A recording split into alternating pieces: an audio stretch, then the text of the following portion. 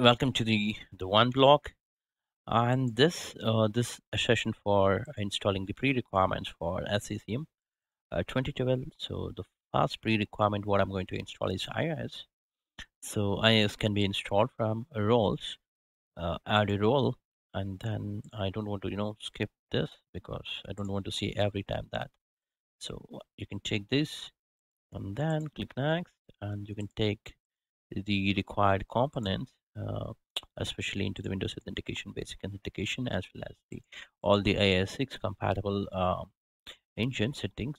And uh, no uh, that should you know uh, more than enough to continue with the uh, IIS features then get install it. So that would uh, actually installs the yeah the IIS yeah just go to install IIS now the next one is I wanted to install the uh, SQL.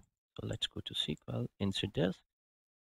Uh, I have my lab here. Uh, inside my lab dump, I have all the ISO files.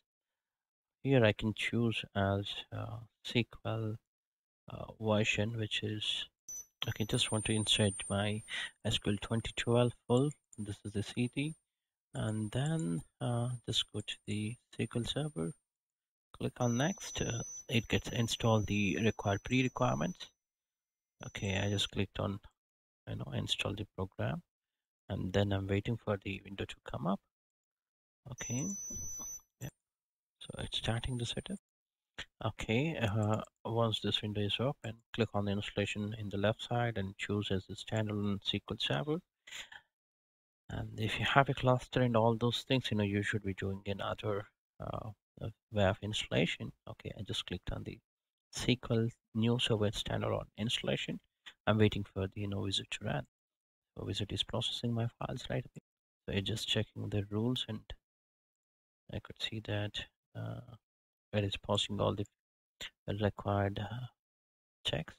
Yeah it has successful all the pre-requirements or the required things has been passed then it is ready to run the sql installation. So let it run. Yeah it's proceeding the current installation. Since i use everything as evolution uh, because it it is it works at least for 90 days. So just click on next accept the installation then wait for check update. Since it is checking for the updates we can wait for some time it has installed